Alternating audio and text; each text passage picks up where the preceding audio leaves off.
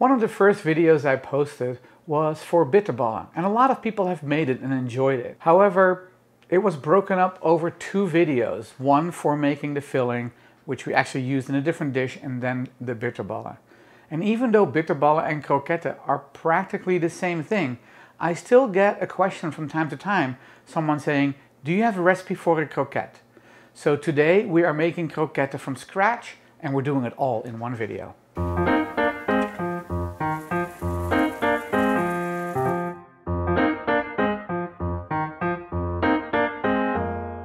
Hi, I'm Toine and welcome to my kitchen. If you're new to this channel, I focus on cooking foods from my home country, the Netherlands, and some of its former colonies, such as Indonesia. Today, we are making croquette. Croquette are a very popular snack back in the Netherlands, and they are either eaten by themselves with some fries or on a roll. There are restaurants in most of the bigger cities where there is a wall with little glass cubbies with a snack in it. And you put in some money, open one of the little glass doors, and pull out a deliciously hot snack. The restaurant that is most popular for this is called FEBO and that name is derived from its very first location in Amsterdam on the Ferdinand Bolstraat. You will need one kilogram or two and a quarter pounds of brisket. Trim off any excess fat. You don't have to get rid of all the fat, but trim off some of the bigger pieces. One small bunch of parsley. We buy basically a regular sized bunch at the grocery store and this is about half of it. One large onion, two bay leaves, and two bouillon cubes. You will also need approximately a liter and a half or one and a half quarts of water. Of course, we're not going to put the entire onion uh, in the broth, so leave the root on because that way the onion stays together and it's easily removed from the broth. But cut off the tip and then cut it into two even pieces and peel off the papery skin. Some people, I've seen some chefs dump the whole onion in with the skin and everything. I don't know why, but I just don't like to do that. Cooking the meat and making the broth couldn't be easier if you have an electric pressure cooker. Because what we're going to do is we are going to put it all in here. Onions, parsley, meat, bay leaves, and a liter and a half of water.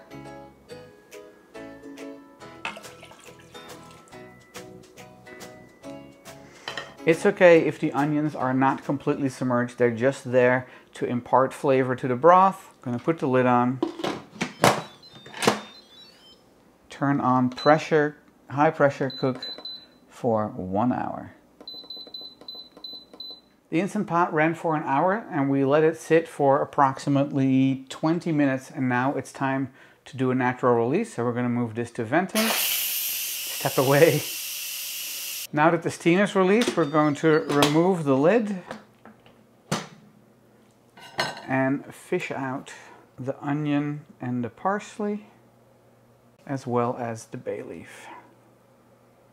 So even though we kept the root on the onion, some pieces are still coming loose, but that's okay because we're going to end up straining the broth. But this way, most of the onion just stays together.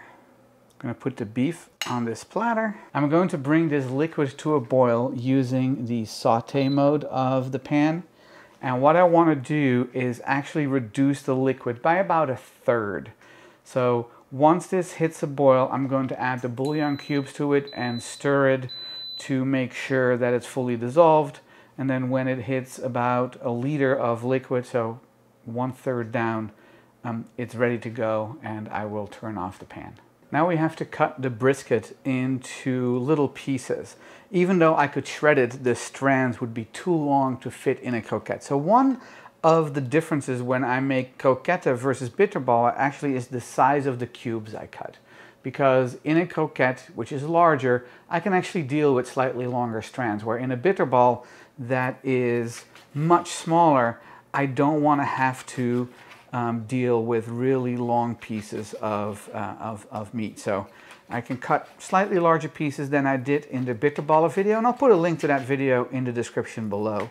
Um, but still, not too large. So I'm cutting maybe an inch wide and now I'm going to rotate it and cut it an inch in the other direction. It's okay if it falls apart. Like I said, the main goal of this is to keep the strands nice and short. or not too long, I should say. If you have really big pieces of fat like I see over there, I typically remove that after I cut it. Now that I've removed all the fat and cut the, the meat, I'm going to put it into this dish and let it cool down. Um, once it's cooled down enough, I'm going to cover it with some plastic wrap and then store it in the fridge because we're going to not need it for a little while.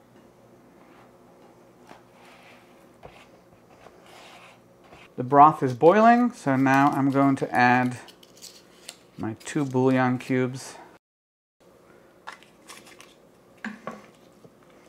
And we're going to stir it until they're fully dissolved.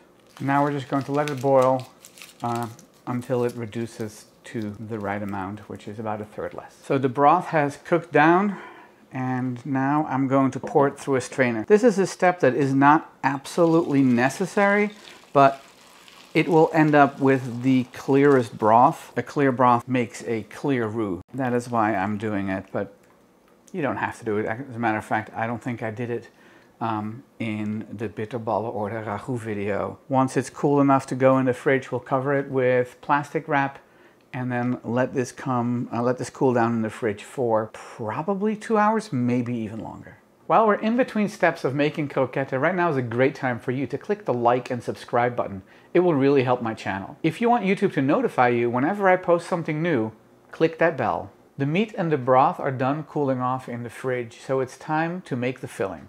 For the filling, you will need 120 milliliters or grams of water, uh, room temperature, 120 grams of all-purpose flour, 120 grams of butter at room temperature, a handful of finely chopped fresh parsley, one teaspoon of white distilled vinegar, one teaspoon of mustard, freshly grated nutmeg, a little bit more than a pinch, and two tablespoons of gelatin. We're going to start by making a roux and for that all you will need is butter and flour.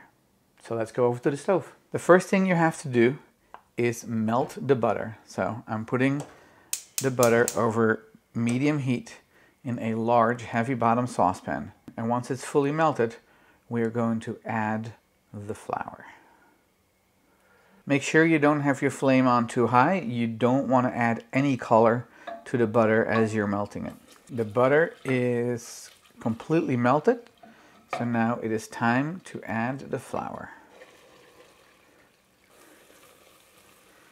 So once the flour is fully incorporated, keep cooking it and stirring it for five minutes. This will make sure that you cook out all the raw flour flavor.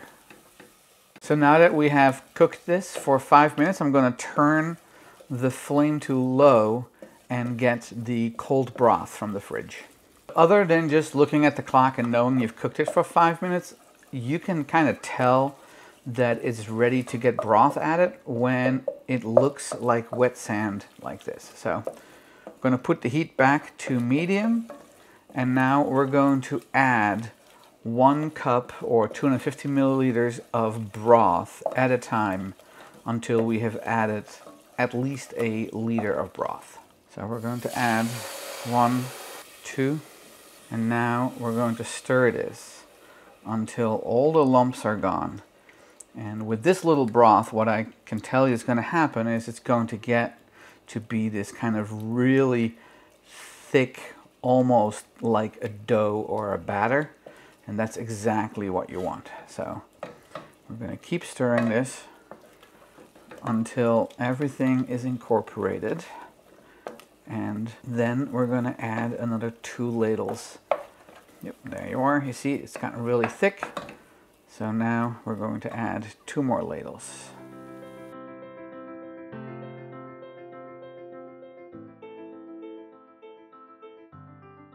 Keep stirring this until it forms one uniform mixture and you want to make sure that you do not see any lumps. It's actually looking pretty good. So time to add two more ladles.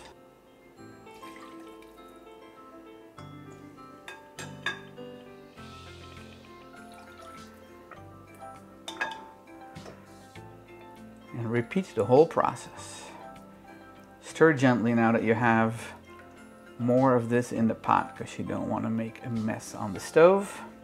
Keep stirring it until there are no more visible lumps. So the sauce is getting pretty thin. It's not thin enough yet, but I worry that if I add two ladles, it may become too thin. So I'm going to add one ladle, stir it through, and then make a judgment call on whether or not I want to add that last ladle of broth. Keep stirring it, and you definitely do not want this to turn brown. This is the perfect color. So I think it is not quite thin enough and it can probably stand to get a full ladle more. So I'm going to add one more ladle.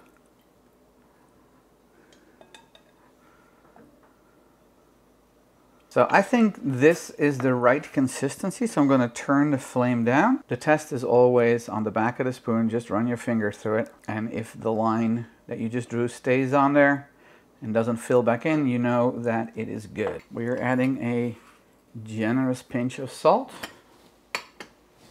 some freshly cracked black pepper, if you want to keep the roux to be completely blonde, you can also use white pepper, but I like the flavor of black pepper better. The vinegar, the mustard, a generous pinch of the freshly grated nutmeg. We're going to stir this, increase the temperature, and bring it to a boil. Once this comes to a boil, you want to lower the heat so it just barely bubbles. So you want to simmer it, uh, but you want to keep stirring it for five more minutes. So as you can see, it is starting to boil. So I'm going to lower the temperature and now we are going to keep stirring it for five more minutes. So we've turned off the flame after the five minutes was done. And now I'm going to let this cool off until it's between 48 and 60 degrees Celsius. That is 120 to 140 degrees Fahrenheit. And once it hits that temperature, we can add the gelatin. So I'm going to take it off the stove and I'm going to kind of keep stirring it from time to time because that will help cool it off. We're going to take the two tablespoons of gelatin, powdered gelatin, and add it to the water and let it bloom for at least 10 minutes. Just to give us an idea, I'm going to take the temperature and right now it is 183 degrees. So we have quite a bit to go. That's Fahrenheit. Let's check the temperature and it is 138 degrees, so perfectly in the zone. So one of the things I forgot to tell you why you need to uh, stir it other than just kind of help cool it off faster, it also prevents a skin from forming on this. So now we're going to take this bloomed gelatin and we're going to stir it until it is completely melted and you can no longer see little pieces of gelatin in here. If you have a hard time dissolving this or melting it in here, you can just take it to the stove and over a low flame Stir it through until all the gelatin is uh, completely dissolved or melted. You have to be really thorough with this. Run your spoon through the sauce to see if you see any pieces of gelatin because trust me, taking a bite out of a piece of uh, gelatin is not what you want when you're eating a croquette. Stir it, keep checking it, that all of the gelatin pieces are gone. And when you think you have it, stir some more, just to be sure. I actually think we are where we need to be. So following my own advice, I'm going to stir a little more. Now that the gelatin is dissolved, we can add our meat. When I took the meat out of the refrigerator, I noticed that there were some pretty big chunks still um, in there. So I used a couple of forks to break them down a little bit smaller. Don't just dump it in because it's gonna splash everywhere. With a pair of tongs, just add a little bit at a time. And then we are going to stir it through. And this will lower the temperature of the gravy or the sauce, which will start the gelling power, if you will. And once we have this mixed through, we're going to add the parsley. So now that I have only a little bit left, I'm just going to do this.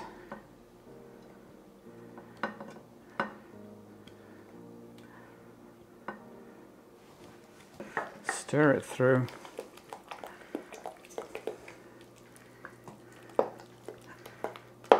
Fantastic. And now we're going to add the parsley.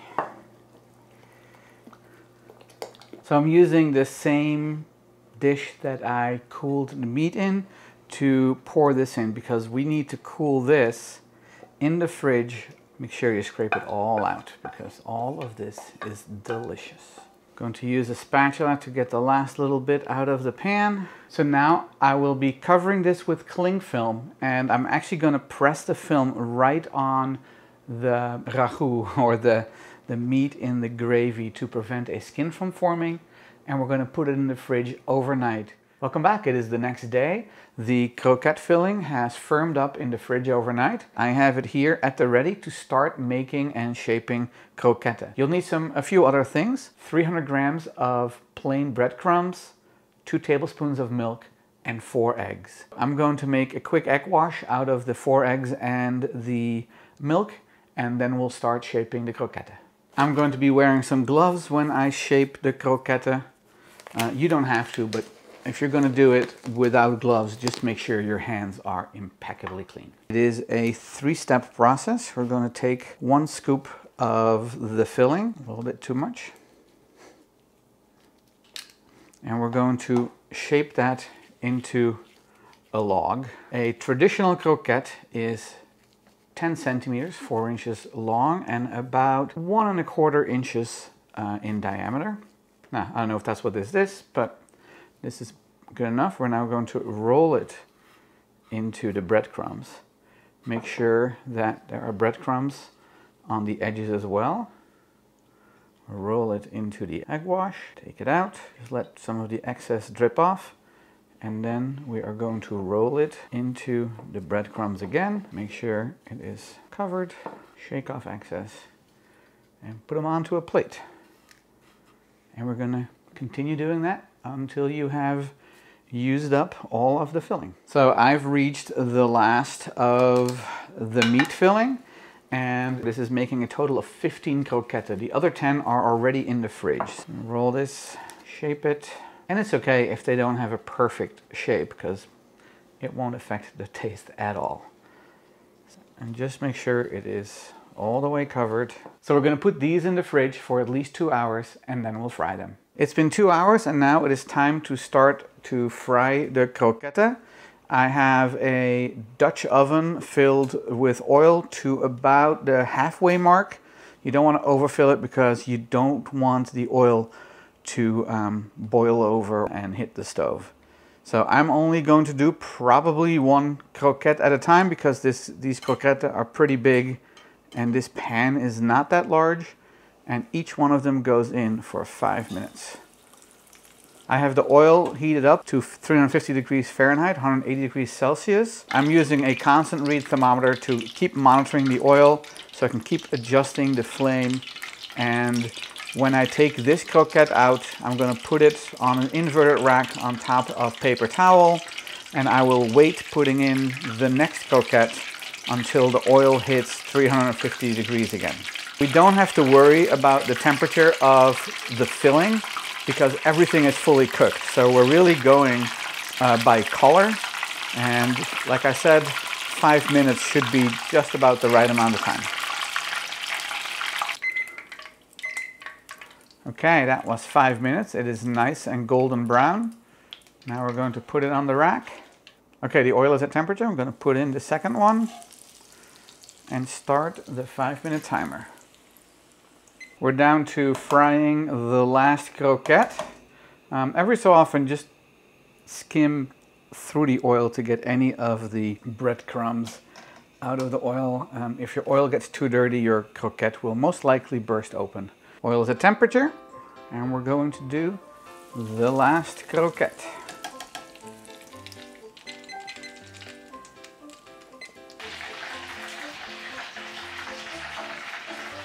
And the last croquette is done. All the croquettes are done. I started with 15, but as I was frying them magically, one of them disappeared. But that's okay, we still have plenty. So I'm gonna pick one and make a broodje croquette. A broodje croquette is a delicious croquette on a bun, typically with a little bit of mustard or mayo. But before I make it, let's cut one open. Let's cut it, let's cut open the croquette so you can see the inside. Oh, it's steaming. So as you can see, the inside is hot and the gelatin melts because of the temperature of the oil. So it liquefies the insides completely. You have a very nice and crispy outside. So let's make a broodje croquette. We're gonna put just a little bit of mustard on the top and bottom of the bun. And then you get to do the fun thing of smashing the croquette. This is not something you cut, you just take a big bite and enjoy it. Eet smakelijk.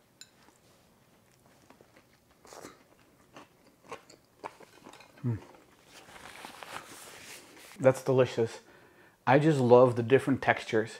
You have the fluffy bread, the crunchy outside of the croquette, and then the hot, meaty gravy inside.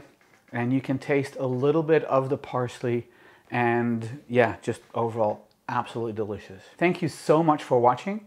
I hope you enjoyed this video. If you did, please click the like and subscribe button and share it with your friends. If you have any questions, leave them in the comments below. I'm going to post a written recipe on my website, toineskitchen.com, and please follow me on social media. Thanks, and I'll see you in the next one.